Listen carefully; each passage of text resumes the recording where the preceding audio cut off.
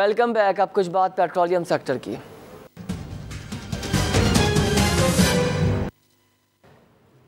Petroleum کی بات کریں گے، سب سے پہلے کروڈ کا ریٹ آج کا آپ کو بتا دیں۔ ففٹی فور پر بیرل پر انٹرنیشنل مارکیٹ میں کروڈ ٹریڈ ہو رہا ہے، لیکن ہمارے یہاں یہ تاثر دیا گیا کہ کروڈ کے انٹرنیشنل پرائسز میں بہت اضافہ ہو گیا ہے۔ پیٹرول کو مہنگا کرنا پڑے گا، لیکن ہم نے آپ کو بتائی حقیقت کہ پینتالیس پر بھی آپ عوام کو ستر پر پیٹرول خریدنا پڑا۔ تب سوال کیوں نہیں کیا ان تمام تر اداروں سے، اوگرا سے اور منسٹری آف پیٹرولیم سے، فائننس سے؟ کیونکہ فائننس کے منسٹری نے سارے معاملات میں بولا ہے۔ انٹروین کیا ہے، چاہے پیٹرولیم کے ہوں، گیس کے ہوں، چاہے ریئل اسٹیٹ کے ہوں۔ کوئی بھی سیکٹر ہو اساک ڈار از دیئر اب کہاں ہیں سارے لوگ؟ مجھے بتائیے امپورٹ بل بڑھ چکا ہے، کوئی پوچھنے والا نہیں ہے۔ مزید جو ہے، یہ پریشر ڈال لیں۔ ایل این جی پہ کانٹریکٹ کر رہے ہیں، کچھ کانسٹنٹ کو ویریبل رکھ کے کر رہے ہیں۔ دس پندرہ سال کے لیے، جس میں ڈالر کی پرائز بھی بڑھے گی۔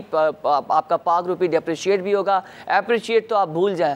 کیونکہ اتنے قرضے لے لیے ہیں، کیا کریں گے؟ کس طرح سے اپریشیٹ تو بھول جائیں، وہ دور گیا۔ ڈیپریشیٹ ہوگا، لیکن کسی حد تک ہمیں کنٹرول تو کر سکتے ہیں معاملے کو۔ اور آرٹیفیشل کنٹرول نہیں نارمل کنٹرول اس پر بات کریں گے، حکمت عملی کیا ہونی چاہیے؟ اوگرا کیا کر رہا ہے؟ ایڈمنسٹریٹو رول ہے اوگرا کا، بڑی ذمہ داری ہے۔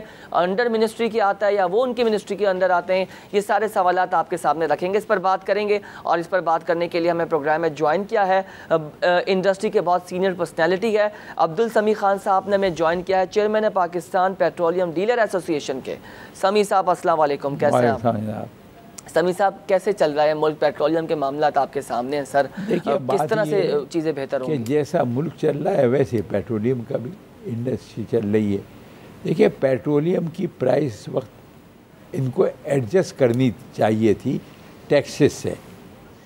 اور پرائس نہ بڑھا دو مہینے پہلے ٹیکسز بڑھائے تھے کہہ کر کہ ہم اس کو پرائس ایڈجسٹ کریں گے لیکن انسینٹیو کہاں ملا؟ سمی صاحب ٹیکس بھی بڑھا دیا ابھی پیٹرول کا پیسہ بھی بڑھا دیا۔ وہ بھی بڑھا دیا۔ تو یہ بڑی زیادتی کی ہے۔ اور اس کا اثر جو ہے نا ڈیزل پہ کتنا بڑھا دیا۔ جی۔ اس سے ایگریکلچر پہ کیا اثر پڑے گا؟ ڈیزل کے بڑھانے سے ہمارے جنریٹر جو سی این جی کے ہیں ان کو ڈیزل میں استعمال کرتے ہیں۔ جی۔ تو ہمارے آٹومیٹیکلی ہماری سی این جی کی قیمت بھی بڑھے گی۔ ڈیمانڈ آئے گی نا؟ سپلائی محدود ہے آپ کے پاس ڈیمانڈ تو آئے گی۔ سپلائی کی بات نہیں ہے۔ وہ کاسٹ اس کی بڑھ گئی۔ جو ہم جنریٹر چلائیں گے جی۔ تو اس کی ڈیزل کی قیمت تو بڑھ گئی۔ جی ڈیزل کی۔ ہاں تو جب پانچ روپے کچھ پیسے بڑھ گئی تو ہمیں تو پھر سی این جی کی قیمت بڑھانی پڑے گی۔ ہاں تو اسی اسی ریفرنس تو میں بول رہا ہوں کہ سی این جی کی بھی ان کو پرائس بڑھانی پڑے گی کیونکہ ڈیمانڈ آئے گی۔ ان کو نہیں یہ تو انہوں نے وہ کر دیا ہے ڈیلر اس پہ چلا نہیں سکیں گے۔ اور میرا خیال یہ ہے کہ جو میں بات کر رہا ہوں شاید دو روپے کے قریب سی این جی کی قیمت کل سے بڑھ جائے گی۔ بڑھ جائے گی۔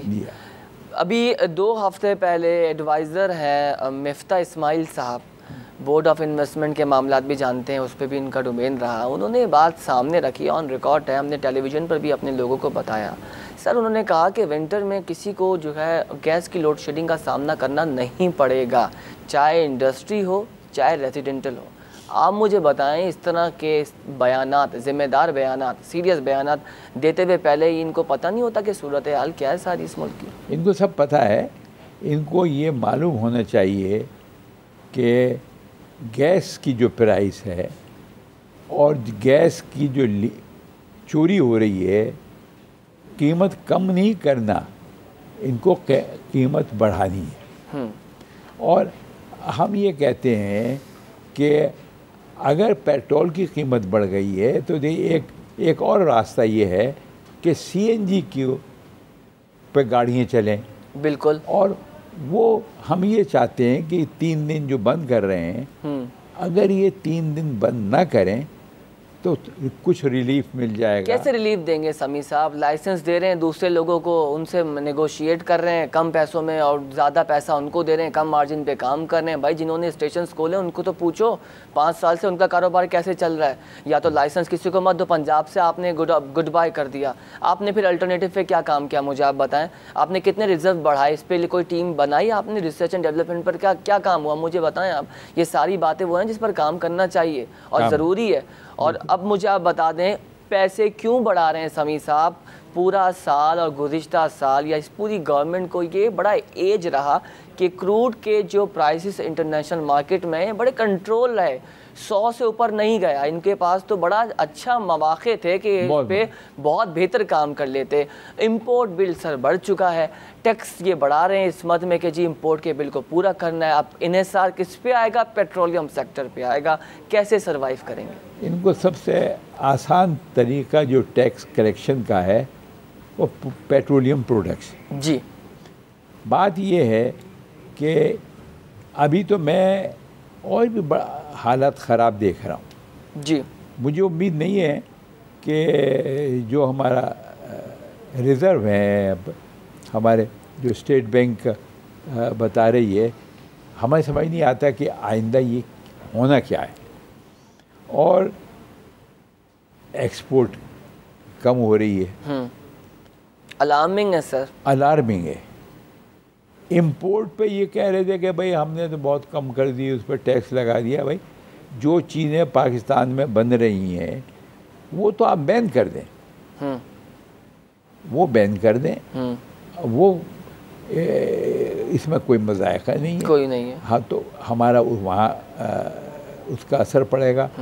ایک مسئلہ ہے جو ابھی کہا گیا ہے کہ دواؤں میں ملاوٹ ہو رہی ہے۔ اس سے تعلق نہیں ہے مگر امپورٹ سے تعلق ہے۔ دیکھیے بات یہ ہے اس ملک میں کچھ دیکھا نہیں جاتا۔ کیمیکل لیبارٹریز چیک تک نہیں ہوتی ہیں کہ ہو کیا رہا ہے وہاں پہ۔ کیا ہو رہا ہے؟ اگر دوائیں ملاوٹ ہے تو اس کو ضرور اجازت دینی چاہیے دواؤں کو۔ کہ وہ تو کم سے کم نہیں سمی صاحب یہ بہت سیریس بات ہے۔ آپ مجھے بتائیں کہ جو ملٹائی نیشنل فارما کمپنیز ہیں ان کی دواؤں پہ لوگوں کا اعتماد ہے بھائی۔ وہ ہاں۔ خرید لیتے ہیں۔ لوکل والوں جو ہے یہ اس طرح کا ایک سمجھ لیجیے کہ ایک سرکل بنانے کی کوشش کریں کہ ان کو بین کر کے اپنے ڈرگ بیچتے نہ ہیں ہاں۔ اپنے ان کے ساتھ تو پھر آپ کو پتہ ہے کہ جب بات نکلے گی دور تک جائے گی۔ بڑے بڑے ڈاکٹرس آن بورڈ آ سکتے ہیں اس معاملے پر دیکھیے بات یہ ہے جو باہر کی کمپنی یہاں دے رکھا ہے ان کو ان کی بھی ذمہ داری ہے بالکل ہے۔ کہ وہ ٹیسٹ کریں کہ آپ کو ہم نے اجازت دی ہے یہ دوا بنانے کی۔ تو یہ آپ چیک کریں اور آپ کیوں ان کا لائسنس کینسل کریں؟ اس پہ بیچ میں بھی بات ہوئی تھی فارما کو لے کے کہ میڈیکل اسٹور پہ آپ جو ہے وہ کس طرح کے لوگ بٹھا رہے ہیں آلٹرنیٹو ڈرگ دے دیتے ہیں تو بڑے کیسز ہوتے ہیں۔ لیکن بہرحال یہ ڈفرینٹ ٹاپک ہے۔ ہم اس پہ ہاں، سے بات کریں گے۔ لیکن ابھی ہم دیکھ رہے ہیں۔ امپورٹ کی وجہ سے امپورٹ کی بالکل صحیح کہہ رہے ہیں آپ۔ تو آپ کی بات وہ درست تھی کہ جو چیزیں یہاں پر بن رہی ہیں تو پھر بھائی وہ آپ امپورٹ نہ کیجیے۔ ہاں۔ اچھا لگژریز پہ تو ایک بڑی بحث ہوئی تھی پارلیمنٹ پہ بھی ہوئی تھی پھر بجٹ پہ بھی بات کی گئی تھی۔ لگژریز کس کے لیے ہیں؟ آپ اکنامیکل حالات دیکھیں، آپ کے ملک میں سروائیور لوگوں کو روٹی وقت، تین وقت مل نہیں رہی ہے۔ آپ لگژریز پر آپ نے ریلیف دیا ہوا، آپ بین لگائیں ابھی آر ڈی لگایا۔ انہوں نے کچھ ایس آر اوز کے تھرو لیکن وہ بھی سفیشینٹ نہیں تھا سمی صاحب۔ دیکھیے، بات یہ ہے، ہمارے ایم این ایس پہ یہ جو انڈسٹری والے ہیں امپورٹر ہیں، وہ ان سے مل جاتے ہیں۔ اور وہ جو کچھ اسکیم بنتی ہے، وہ فیل ہو جاتی ہے۔ اس میں تو بڑا سختی سے کام ہونا چاہیے۔ اور ابھی تو اساق دار صاحب کہ وہ پاور نہیں رہے کیونکہ انہوں نے بہت ان کے بغیر کام چلتا نہیں تھا۔ تو اب تو F B R secretary finance یہ اور اپنا پرائم منسٹر ہے وہ بہت بہتر آدمی ہے۔ اور وہ جو وعدہ کرتا ہے وہ کرے گا۔ خاقان عباسی صاحب کی بات کر رہے ہیں۔ ہفتے میں کیبنٹ کی میٹنگ کرتے ہیں اسمبلی میں آتے ہیں تو وہ سنے گا۔ اور سننا پڑے گا سمی صاحب ابھی صورتحال ایسی سب کو سیریس ہو کر بیٹھنا پڑے گا۔ دیکھیں جو جس کا ڈومین ہے اس کو اختیارات دیجیے آپ۔ اس کو بولیں کہ آپ ڈیسیجن میکنگ کے اختیارات ہیں، آپ کا آپ نے کام کرنا ہے۔ ایک لیٹر اپروو کروانے کے لیے اسلام آباد لوگوں کو چکر لگانے پڑتا ہے۔ مجھے بتائیں، یہاں پر کوئی فیڈرل کی کمیٹی ہی بنا دیتے ایٹ لیسٹ جو وزیر اعظم سے ڈائریکٹ رہتا۔ ہے ہمیں پتہ ہے پرابلم آتا ہے، آپ کے پاس اختیارات نہیں ہیں۔ یہاں پر یہاں کراچی کے انڈسٹری کے لوگوں کو اسلام آباد جانا پڑتا ہے۔ پھر وہاں پر چکر کاٹنے پڑتے ہیں، پھر وہاں بھی گھومتے رہتے ہیں۔ جی اس سیکرٹری کے پاس چلے جائیں، اس سے ملاقات کر لیں۔ پرابلم ایگزسٹ کر رہی ہے، یہ ساؤنڈ کر رہی ہے۔ اس کو ہی دیکھ لیتے آپ۔ یہ آپ نے بہت اچھی بات کی ہے ہمیں اندازہ ہے اس کا کہ اگر ہم ایک دن کے لیے جاتے ہیں تو ہمیں چار دن رکنا پڑتا جی۔ اور وہ کام پھر بھی نہیں کام ہوتا۔ پھر بھی نہیں ہوتا۔ تو یہ تو پرائم منسٹر سے میں ریکویسٹ کروں گا کہ اس مسئلے کو حل کریں کہ یہاں اگر کوئی ٹائم دیتا ہے وہاں سیکرٹری چلے گورنر کا کام نہیں آپ گورنر آپ کا ہے آپ اس کو بولتے ہیں کہ وہ یہ معاملات دیکھ لیں کیونکہ وہ تو ماشاء اللہ بزنس کو کافی بہتر جانتے ہیں۔ ہاں۔ ان کو آپ دے دیں حالانکہ ڈومین گورنر کا ایسا نہیں ہوتا ہے۔ گورنر کی جاب اینڈ رسپانسبلٹیز میں سمجھتا ہوں گورنر سب کچھ کرنے کو تیار ہے مگر اس کے بھی ہاتھ پیر کاٹ رکھے ہیں۔ پروونشل گورنمنٹ نے اور ان کو کام نہیں کرنے دے رہے۔ اور اگر ان کو اجازت دے دیں تو بہت سے مسئلے حل ہو سکتے ہیں۔ کیونکہ پروونشل گورنمنٹ میں اتنے منسٹر ہیں ان سے ملاقات ہونی مشکل ہے۔ ہوں تو کم سے کم کوئی تو راستہ دیں یا چیف منسٹر ایک دن بیٹھیں چیف منسٹر ہاؤس میں جو امپورٹنٹ مسائل ہیں اس کو حل کرائیں۔ خالی اسمبلیوں میں بیان ابھی تین ہفتے پہلے کتنا اچھا تھا کہ گورنر وزیر اعظم صاحب کراچی آئے گورنر ہاؤس بیٹھے تمام بزنس اسٹیک ہولڈرز کو آن بورڈ لیا لوگوں نے اپنے پرابلم ایڈریس کیے انہوں نے سنے باتوں کو۔ بھلے اس پہ امپلیمنٹ نہیں ہوا وہ پولیٹیکل اسٹیٹمنٹ اور پولیٹیکل ایشوز میں بھی اس میں شامل آپ بھی۔ تھے ماشاء اللہ سر آپ ساتھ تمام تر لوگ تھے۔ وہ بڑی اچھی میٹنگ رہی یہ- ہر مہینے ہونی چاہیے۔ ہونی چاہیے۔ یہ لازمی ہونی چاہیے۔ دیکھیں۔ پرابلم ایکنالج اور ایڈریس ہونا فلور پر ضروری ہے۔ ورنہ وزیر اعظم صاحب کو کیا پتا کہ کیا مسائل کہاں پر ہو رہے ہیں؟ آپ آپ لوگ یقین دلوائیں گے۔ آپ بتائیں گے تو پتہ لگے گا نا۔ ہم لوگ بیٹھ کر ٹی وی پہ بآسانی بولتے ہیں کیونکہ ہم اس لیے بولتے ہیں پرابلم ایگزسٹ کر رہا ہے۔ ہم سب لوگ پریشان ہیں بزنس کمیونٹی کے لوگ جو ہے پریشان ہیں معاملات سارٹ آؤٹ نہیں ہو پا رہے۔ لیکن وہی ایک بات ہے کہ آپ نے منسٹری آف فائنینس پہ سارے اختیارات دے دیے چاہے پیٹرول کے رہے فائنینس کے رہے آپ کے جو بھی معاملات ریئل اسٹیٹ کے رہے جس پہ بھی ان کی انٹروین لازمی تھا وہ لازمی ان کو دیا ہوا تھا آپ نے موقع۔ اب آپ دیکھیں کتنی چیزیں جو ہے وہ پینڈنگ پر پڑی ہوئی ہیں۔ کچھ کچھ پرپوزل پہلے کے تھے دو ہزار سولہ کے سے پہلے کے پندرہ کے وہ ابھی تک دیکھیں ہوا ہوئے ہیں کچھ اس کی رپورٹ ہی نہیں ہے۔ دیکھیے اتنا میس ہے اور دار صاحب کسی کی چلنے نہیں دیتے تھے۔ اب تو وہ عطاب میں ہے اب بالکل آپ صحیح گئے تو دو تین سال کا اتنا وہ ہے اس کو صحیح کرنا بڑا مشکل ہے۔ جی۔ اور میں سمجھتا ہوں کہ پرائم منسٹر کو پوری اختیار دیں۔ فائنینس کا بھی کہ بھائی آپ اس ان مسائل کو حل کریں جی۔ اور وہ لاہور بھی جائیں کراچی بھی جائیں پشاور جائیں اور جو جینئن پرابلم ہے ان کو وہ سولو کریں۔ ورنہ یہ تو اور میس ہو رہا ہے اور اس مسئلے کو حل کرنا۔ تاجر برادری انڈسٹریز سے تمام تر لوگوں سے ملنا پڑے گا ان کی پرابلم کو سننا پڑے گا۔ وہ ٹیکس بھی دینے کو تیار ہیں وہ کہتے ہیں بہتر شفاف حکمت عملی سامنے تو آئے کچھ کلیئر ہی نہیں ہو رہا ہمیں ہو کیا رہا ہے؟ کچھ کلیئر نہیں ہو رہا۔ اور نہ کوئی جواب مل رہا ہے وہاں سے۔ کلیئر تو جب ہو گیا ہم ہم کچھ کہتے ہیں تو وہاں سے جواب بھی نہیں وہ ایشو یہ سمی صاحب گزشتہ آٹھ نو ماہ ہو چکے ہیں جو ان پہ کیسز چل رہے ہیں جو ان پہ ایلیگیشنس لگی ہے۔ پیناما کے بعد سے اب اتنی فائلز اوپن ہو چکی ہیں ایک کیس تو پھر دوسرا کیس پھر نائب اور سپریم کورٹ کی روزانہ ہیئرنگ ہو رہی ہے۔ آپ کے سامنے آج بھی دیکھا وزیر اعظم صاحب پیش ہوئے سابق وزیر اعظم صاحب پیش ہوئے۔ تو کوئی منسٹر کوئی شخص متعلقہ بزنس کی بات ہی نہیں سن رہا۔ وہ ابھی کہہ رہے ہیں، ابھی رک جائیں ابھی ہولڈ کریں۔ سب کا کانسنٹریٹ اگلے الیکشن پر ہے۔ سر، ہم نے ایک سال ہم کیا کر رہے ہیں؟ ہم ہم ہم ہم میس کر رہے ہیں۔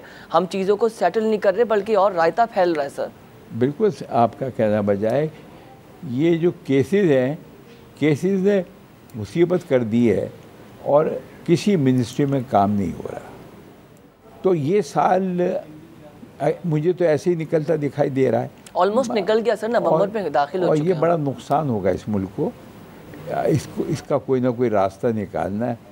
گورنمنٹ کا ہی کام ہے۔ جی بالکل وہ نکالیں اور وہ اپنے کیسز اپنی جگہ چلتے رہیں۔ مگر گورنمنٹ کو اسی طریقے سے چلنا ہے کہ وہ پبلک کی یا انڈسٹری کی سولو کرے۔ ابھی آپ مجھے بتائیں ایکسپورٹس راتوں رات بہتر نہیں ہوں گی۔ سب سے پہلے تو مثبت پالیسی لے کر آ جائیں۔ پھر اس کی اپروول آپ اسٹیک ہولڈر سے کروا لیجیے کہ بھائی ان کے لیے یہ فیوریبل ہے یا نہیں؟ یہ تیار ہے ایکسپورٹ کرنے کو یا نہیں تیار ہے آپ سے پہلے میں ایک چیز ہم سیمنٹ ایکسپورٹ پر بھی بات کر رہے تھے کہ اب مجھے بتائیں ہمارا مٹیریل انٹرنیشنل مارکیٹ میں سر اویلیبل ہی نہیں ہے۔ کمپٹیٹر کو پتہ نہیں ہے پاکستان میں بن کیا رہا ہے۔ کیا بنے یہاں پر اور امپورٹ ہر چیز امپورٹ ہو رہی ہے۔ یونٹس بند ہو چکے ہیں۔ آپ کے کارخانے جب اس کے ان لوگوں نے بند کر دیا۔ دیا۔ وہاں پہ کچھ اور کوئی اور سا کام شروع کر دیا ہے۔ وہ کہہ رہے ہیں کہ ہم چھوڑیں انڈسٹریز کو چھوڑیں بس ہمیں بھی تو اپنا کچن چلانا ہے گھر چلانا ہے ہم کچھ اور کام کرتے ہیں۔ مارجنس نہیں مل رہے سر ان کو۔ دیکھیے وجہ یہ ہے کہ پالیسی کوئی نہیں ہے۔ اب امپورٹ پالیسی صحیح نہیں ہے۔ اب ان کو چاہیے یہ جیسے میں نے پہلے کہا کہ اس پہ لگژری آئٹمس کو ختم کر دیں بین کر دیں۔ جی۔ ارے جب یہ ہمارے ملک کی یہ حالت ہو رہی ہے تو نہیں ملے گا لگژری آئٹم کھانا پینا تو ہم کر سکتے ہیں نا۔ صحیح بات ہے۔ اور ایگریکلچر تو ہو رہا ہے آپ کے پاس بہتر ہو رہا ہے اتنا ہو رہا ہے آپ ایکسپورٹ بھی کر رہے ہیں آپ کا. فروٹ ویجیٹیبل یہ تو گورنمنٹ کو فوراً یہ جو آٹھ مہینے ہیں لگژری آئٹم ختم کریں۔ اور اور یہ کوشش کریں کہ ایکسپورٹ پہ جو کچھ بھی زیادہ سے زیادہ کچھ انسینٹیو دے کے ادھر ایکسپورٹ ایکسپورٹ کرنا پڑے گا سمی صاحب، یہ وہ چیزیں ہیں جو بہت ضروری ہیں۔ تھینک یو سو مچ سمی صاحب، آپ نے بزنس پلس لائیو آئی کے لیے وقت نکالا۔ آپ نے دیکھا جی آئل گیس سیمنٹ ہر سیکٹر میں جو ہے پرابلم ہی پرابلم ہے۔ بیکاز ایک پراپر اکنامیکل پالیسی سمجھ نہیں آ رہی۔ جیسے ہم نے ڈسکشن کیا کہ گزشتہ آٹھ، نو ماہ میں جو چیزیں ہوئی ہیں، اس کو کچھ کام نہیں ہوا، کوئی اپروولس نہیں ہوئے چیزیں پینڈنگ میں ہیں۔ اور ڈیلی بیسس پر ہم چیزیں سن رہے تو ہوتے ہیں، لیکن امپلیمنٹ نہیں ہو رہا ہوتا۔ اور خصوصاً پیٹرولیم سیکٹر میں ہم نے دیکھا کہ نومبر کا سٹارٹ ہوا نہیں کہ پرائسز کی نوٹیفیکیشن جاری ہو گئے۔ تو یہی تو سوال تھا ہمارا کہ اوگرا میں لوگ کیا کام کر رہے ہیں؟ ان سے بھی سوال ہوتا ہے کہ وہ کس طرح سے بیٹھیں پھر پیپرا بنانے کی باتیں کر رہے ہیں، کیونکہ لوگوں نے اوگرا کے رول پر سوال اٹھانا شروع کر دیے ہیں کہ اوگرا کیا کر رہا ہے؟ واٹ ڈس اوگرا ڈو تو یہ ساری چیزیں آپ کو پتہ ہیں، ہم آپ کے سامنے رکھتے ہیں، حقائق رکھتے ہیں اور بتاتے ہیں کہ دیکھیں کس طریقے سے ملک کی صورتحال چل رہی ہے۔ پیٹرولیم ہمارا سب سے امپورٹنٹ سیکٹر ہے۔ اسی پہ آپ کی بائنگ اینڈ سیلنگ ہو رہی ہوتی ہے او ایم سیز کا رول بھی ہوتا ہے اور بڑی تعداد میں ہمارے گورنمنٹ کا پیسہ، آپ کا پیسہ جو ٹیکس قیمت میں آپ دیتے ہیں اور آپ ہی کی ٹیکس قیمت سے ہم قرضہ مانگتے ہیں پاکستان کے طور پر کہ ہم پاکستانی ہیں۔ جی سروائیول نہیں ہو رہا اکنامی کا۔ ہمیں اپنا ملک اسٹیٹ چلانا ہے۔ خدارہ ہمیں قرض دے دیں آئی ایم ایف خدارہ ہمیں اے ڈی پی قرض دے دے۔ پھر اس قرض کی ری پیمنٹ نہیں ہو پاتی اور اس ری پیمنٹ سے پیمنٹ کے طور پر بھی جو ہے کچھ ہمیں چیزیں ڈسٹرب نظر آتی ہیں۔ سوال کرنا آپ سب کا حق ہے، آپ کیجیے۔ آپ آپ کا پیسہ ہے کیونکہ آپ ہی ٹیکس دے رہے ہیں اور آپ کے آنے والے جب بچے بھی ٹیکس دیں گے کیونکہ اتنے زیادہ قرض پاکستان کی گورنمنٹ پہ اور پاکستان کے جو فزیکل ڈیفیزٹ ہے اس پر چڑھ چکا ہے۔ اسٹیٹ بینک کی خود کی رپورٹس ہیں۔ آپ وہ دیکھیے ایکسپلور کیجیے کہ اسٹیٹ بینک کی رپورٹ نے کہا ہے کہ اس موجودہ گورنمنٹ نے تاریخ کی بلند ترین سطح جو سمجھ لیجیے قرض کی وہ عبور کر چکی ہے۔ اتنا قرض لے لیا ہے۔ یہ تو لوکل رپورٹ ہے آپ کی، پھر آئی ایم ایف کی رپورٹ تو ڈیلی بیسس پر شائع ہو رہی ہیں اور ویکلی تو ہو رہی ہیں ایک بریک لیں گے۔ بریک پر جب واپس آئیں گے تو کچھ مزید مزید بات کریں گے. Stay with us